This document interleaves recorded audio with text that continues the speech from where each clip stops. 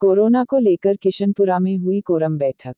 आज रानी उपखड़ के किशनपुरा में सरपंच देवी चौधरी की अध्यक्षता में कोरोना कोर कमेटी की बैठक ली, जिसमें पीईयू मूलाराम मीना ने बैठक में सरकार द्वारा जारी नए निर्देशों की जानकारी देते हुए बताया कि अब महाराष्ट्र, गुजरात व अन्य प्रांतों से आने वाले प्रवासियों को होम आइसोलेट करने व डोर टू डोर सर्वे कर बीमार लोगों को मेडिकल किट वितरण के निर्देश दिए, जो लोग सरकार की गाइडलाइन की पालना नहीं करते उन्हें समझा बुझाकर या सख्ती से पालना करना सुनिश्चित करने को कहा। इस बैठक में मोहनलाल चौधरी चौधरी।